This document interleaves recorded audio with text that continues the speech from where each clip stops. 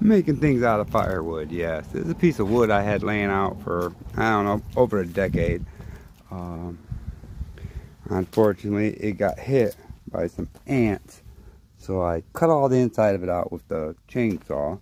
But it's still extremely heavy because it is red oak. I already grinded it down, sanded it, and I already got the first coat of poly on this.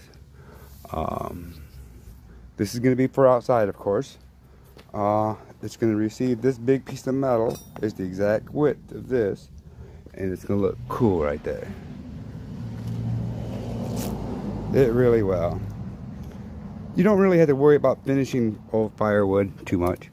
Um, you're going to get runs, drips, maybe. I don't know. I ain't got none of this yet. But we're just going to end up doing this.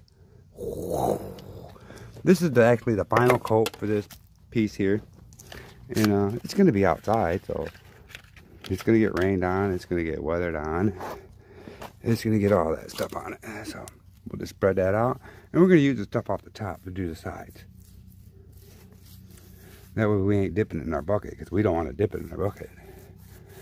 I got one of these I made already. It has an anvil on one side and on the other side it has a, the big clamp anvil it's like a baby anvil but there's a clamp on it.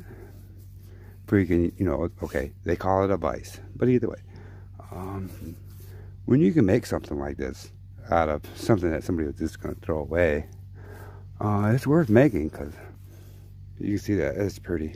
I got my initials burned into it because you know that's almost a must. You gotta mark your stuff. On the other one I had the date on it and that's almost five years old now so, and I got both these big pieces of oak at the same time. The other one's real nice. Uh, I ain't saying this one ain't nice, but I got the other one for inside.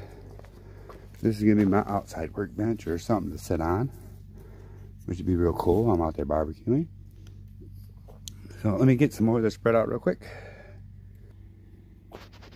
It's totally amazing. Look at that from something that was going to be used to from a piece of firewood put wheels on it. I got a nice big piece of metal to put on one end I can hammer on metal. Plenty of room to set plenty of room to put a plate for I'm cooking outside or something and it rolls around so that's a good idea for some firewood. Y'all have a nice day